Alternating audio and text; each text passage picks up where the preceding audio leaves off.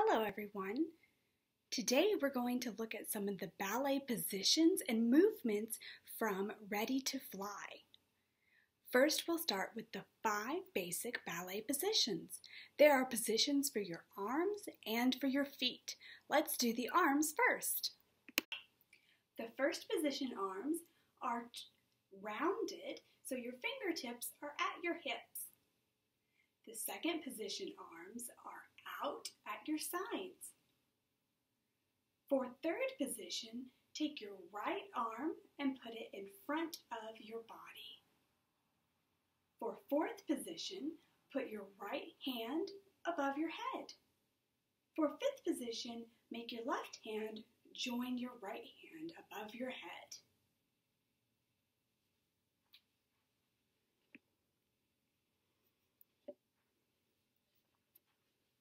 Now let's take a look at the feet for the five basic ballet positions.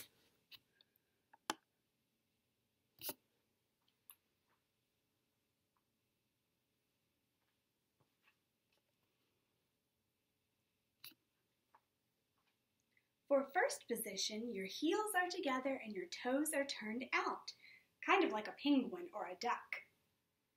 For second position, you're going to put a little space between your heels. For third position, take your right foot and put your heel in between your toes and your heel on your other foot, where the arch of your foot is. Now for fourth position, take your right leg out a little bit so there's space in between your feet. For fifth position, try to get your heels and your toes on the other side of your feet to touch don't worry if you can't do this position really well. Most ballet dancers have to practice a lot before they can do fifth position. Now, let's take a look at some of the other ballet movements that we see Sylvia Townsend do in the illustrations of the book.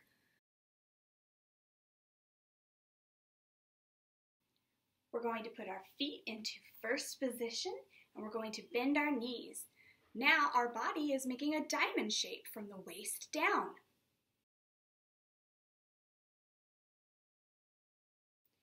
A releve is to go up on your tiptoes. See if you can hold it. Come on down. Next we have an arabesque. You're going to face to your right side, put your right arm in front of you, and your left arm beside you. And then you're going to try to balance on your right leg. Pick your left leg up as high as you can.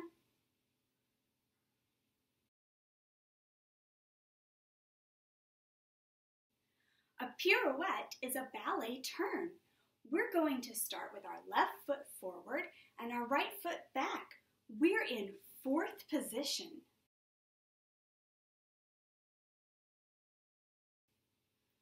Now you're going to bend both your knees, and as you straighten your knees, pick your back leg up.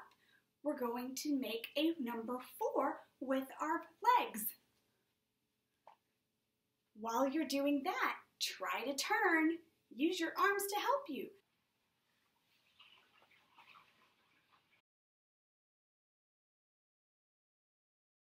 Now, a grand jeté is a big leap. We're going to pretty much do an arabesque as we move across the floor.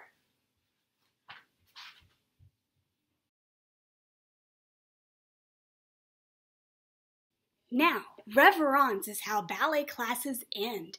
It's a curtsy or a bow to the instructor and to your other dancers to say thank you for a wonderful class. So a girl would do a curtsy by putting her right foot behind her and bending both legs. A boy would do a bow by standing in first position and putting his hand over his heart and leaning forward. At the end of the book, the author includes a photograph of Sylvia Townsend. In this photo, she is on pointe. That means Sylvia is wearing special ballet shoes here on her feet that help her rise to the tips of her toes. You can't go on pointe unless you have very special ballet shoes and you have a ballet teacher telling you how to do it. It's not something to try at home in any kind of shoes. Now I'm wearing my hard pointe shoes. I want you to see what it looks like when a ballerina is dancing on pointe, on the very tips of her toes in very special shoes. Watch my feet.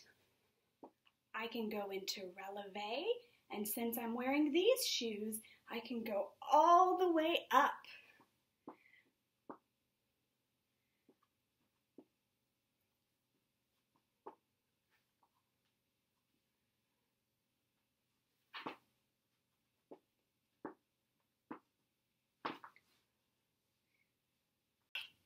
Now, I've been wearing two different kinds of ballet shoes.